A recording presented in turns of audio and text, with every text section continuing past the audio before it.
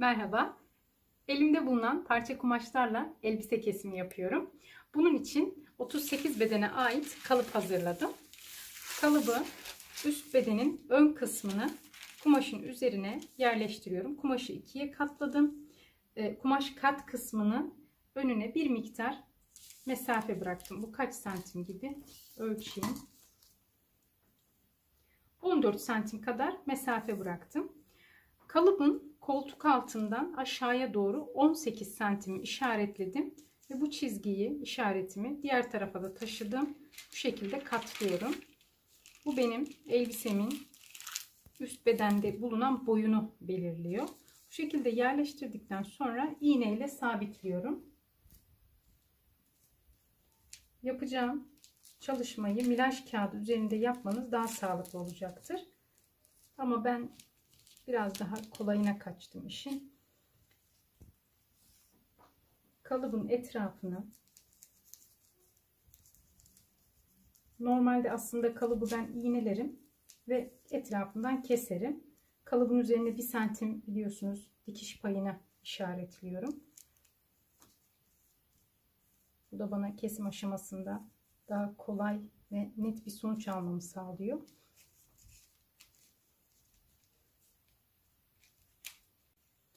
Kalıbın etrafından çizdikten sonra iğneyi çıkartıyorum. Kalıbı da üzerinden alıyorum ve ön pat kısmına 2 santim işaretliyorum.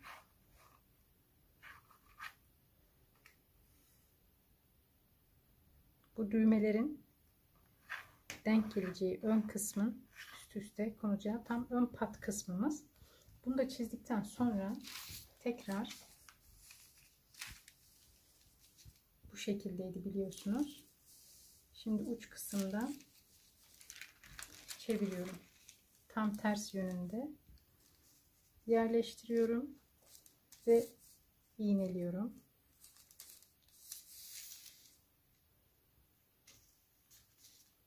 İğneledikten sonra omuz kısmından 4 santimi çiziyorum.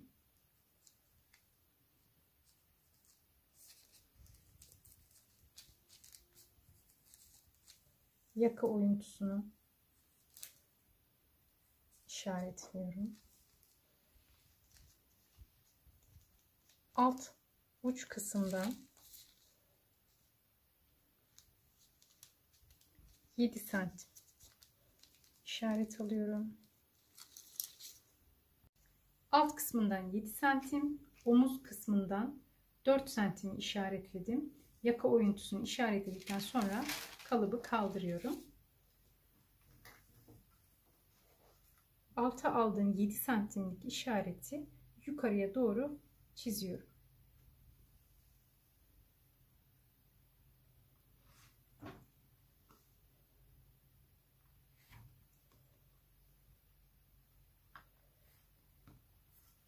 Üst tarafa aldığım 4 santimlik işaretimi de aşağıya doğru çiziyorum.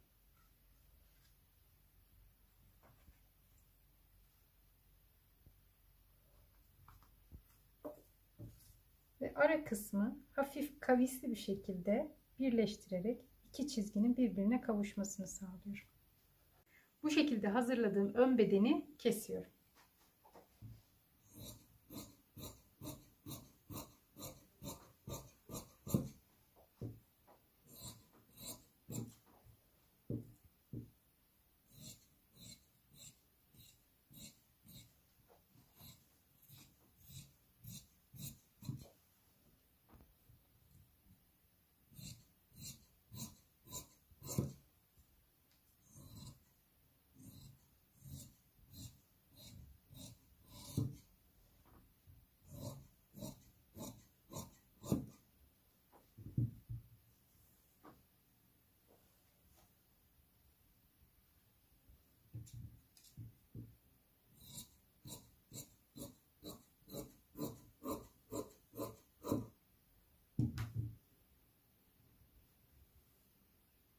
Arka bedenin arka kısmında dikiş olmayacağı için kumaş kat kısmına kalıbın kat kısmını arka kısmını yerleştiriyorum.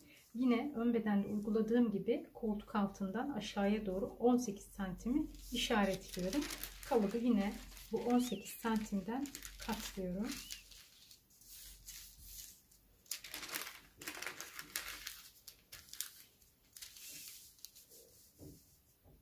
Bu şekilde yerleştirdikten sonra iğneliyorum.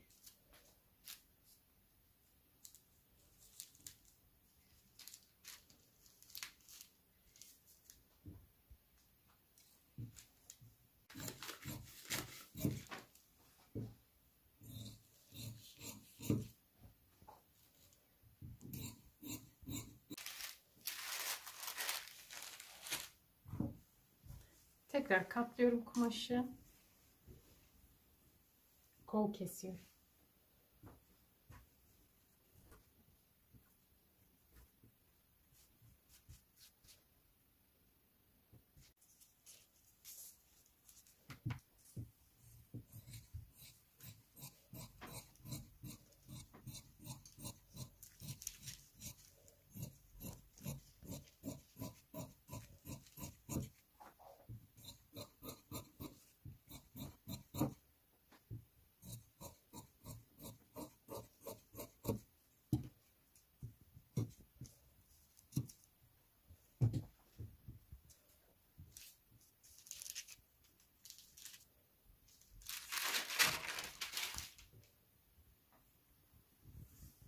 Kol kesimini de tamamladıktan sonra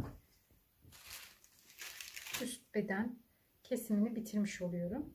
Şimdi alt beden için etek boy ölçüsünü alıyorum. Elbisenin etek boyu 90 santim. Bu 90 santimlik etek boyunu e, tek parça halinde değil de iki parça halinde yapıyorum. 150 e, santim ene sahip kumaştan 60 santim boya sahip bir parça hazırladım. Bu parça üst kısma denk gelecek. Bu parçanın alt kısmına da başka bir kumaş hazırladım. Bunun boyu da 30 santim. Yani 60 ve 30 santim ikisi birbirine eklendiği zaman etek boyunu tamamlamış olacaklar. Alt kumaşta yine 30 santim uzunluğa sahip. En olarak da iki parça kullandım. Üst parçayı kaldırıyorum.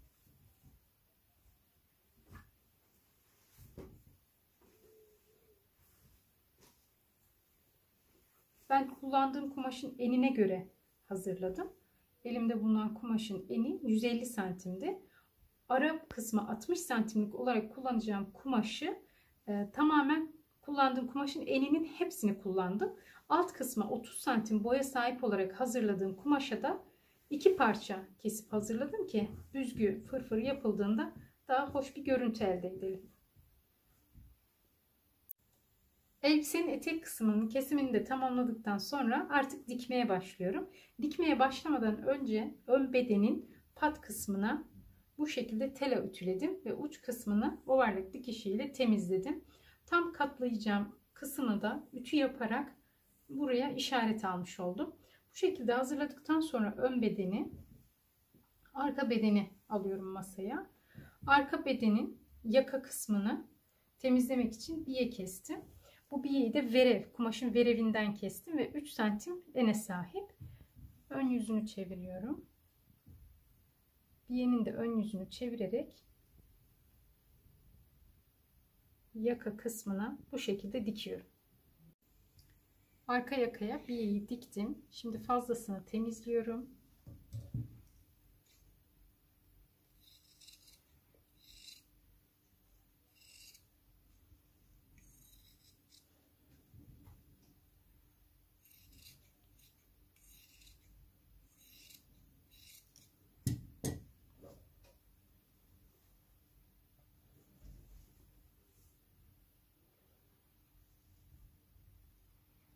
Tüyle düzeltirseniz daha kolay dikersiniz.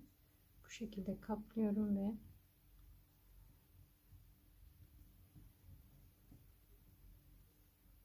dikiyorum.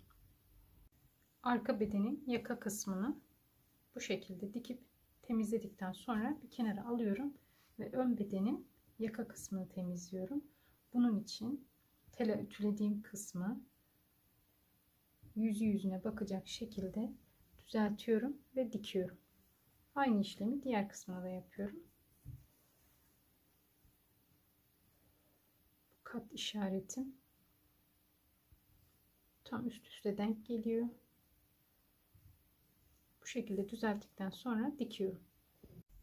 Ön bedenin yaka kısmını diktim. Fazlasını keserek temizledim ve çıtlar attım kavisli bölgeye. Bu şekilde yaptıktan sonra çeviriyorum. Köşesinin düzgün çıkmasına dikkat ediyorum. Ve ütüledim bu kısmını. Aynı işlemi diğer parçaya da yaptım. Omuz dikişlerini kapatıyorum.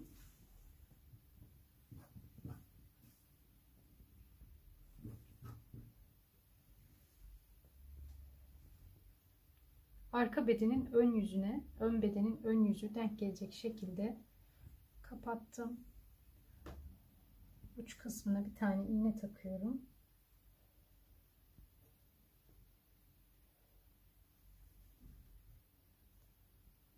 Arka bedenin omuz dikişini, yaka dikişini araya alacak şekilde yerleştirip üzerine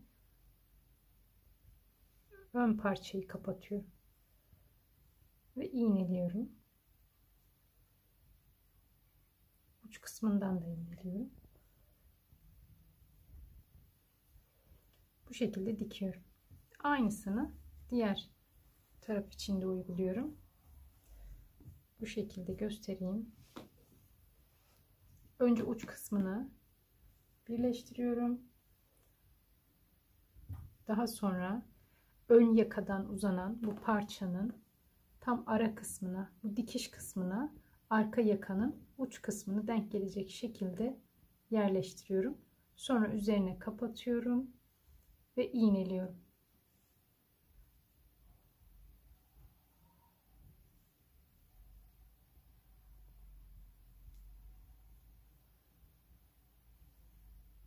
Omuz dikişini yaptım ve bu şekilde çeviriyorum. içten görüntüsü ve düz yüzünden görüntüsü.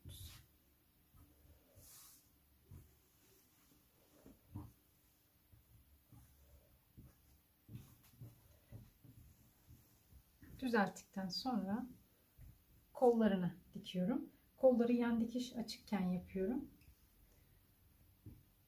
Kolda bulunan omuz işaretini bedenin omzuna denk getiriyorum ve ön bedenin tarafına kolun ön kısmına yerleştirip iğneliyorum.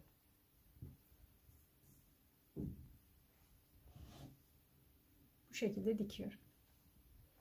Kolları diktikten sonra düzeltiyorum ve yan dikişi kapatıyorum. Bunun için kol altında bulunan dikişlerin üst üste gelmesini sağlıyorum. Bu şekilde düzelttikten sonra dikiyorum. Yan dikişleri kapattım bu şekilde düzelttim ve ön pat kısmını üst üste denk gelecek şekilde yerleştirdim iğneliyorum bu kısmını dikiyorum şimdi bu bunu bir kenara alıyorum alt kısma et, ekleyeceğim eteği için kumaşı hazırlıyorum kumaşın yüzü yüzüne bakacak şekilde katlıyorum ve kenar kısmını dikerek birleştiriyorum ardından kumaşın üst tarafına makinenin en geniş dikiş adım ayarında büzgü yapıyorum. Eğer büzgü ayağınız varsa onunla da hazırlayabilirsiniz. Üst bedenin pat kısmını üst üste koyup diktim.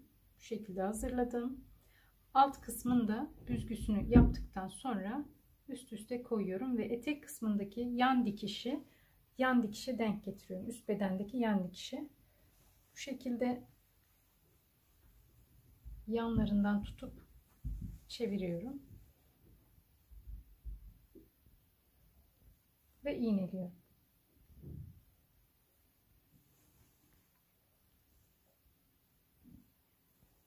Büzgünün eşit ve dengeli dağılmasını sağlıyorum. Ön orta ve arka ortaya da birer tane iğne tutturduktan sonra dikiyorum.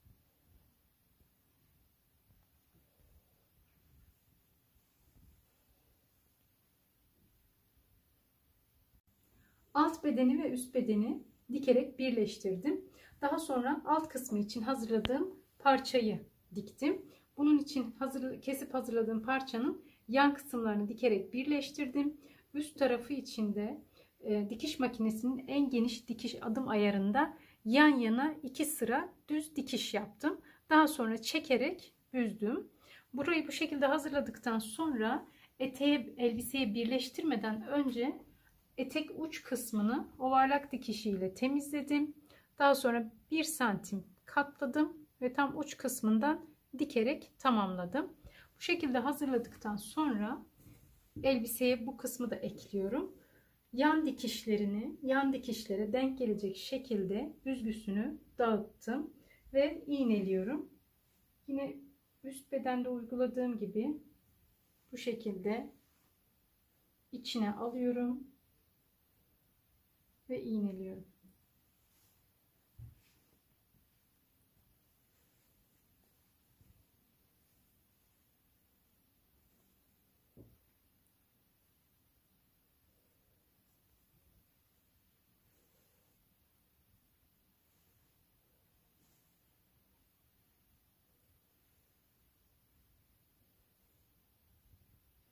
Dikiyorum. Elbisenin alt kısmını da diktim. Kol uç kısımlarına da ovarlak dikişiyle temizledikten sonra 2 santim katladım ve alttan gelen dikiş kısmına açıklık bıraktım. Bu bıraktığım açıklıktan lastik geçirdim. İçine bu şekilde tamamladım. Aynı şekilde diğer kolu da yaptım. Yaka kısmını da katladım. Ütüyle düzelttim ve katladığım kısmın tam altından işaret aldım. Daha sonra 8'er santimlik boşluk bırakarak iki tane daha işaret aldım. Aynı işaretleri patın alt kısmına da taşıdım. Bu şekilde taşıdıktan sonra üstlerine sedef çıt çıt uyguluyorum. Bu şekilde yerleştirdim. Yaka kısmını arzu ederseniz daha kapalı olarak da çalışabilirsiniz. Şuraya da bir tane çıt ekleyebilirsiniz. Fakat ben böyle tercih ettim. Ütüledim ve hazırladım. Evet çıt çıtları basıyorum. Bunun için yine elbiseyi bir kenara alıyorum.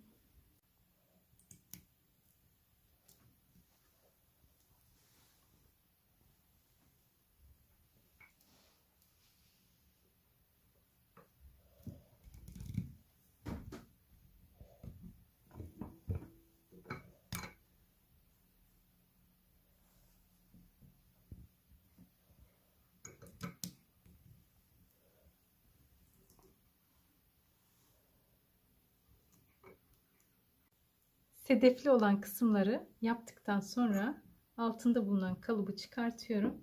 Şimdi karşılığını basımı için kullanacağım kalıbı yerleştiriyorum.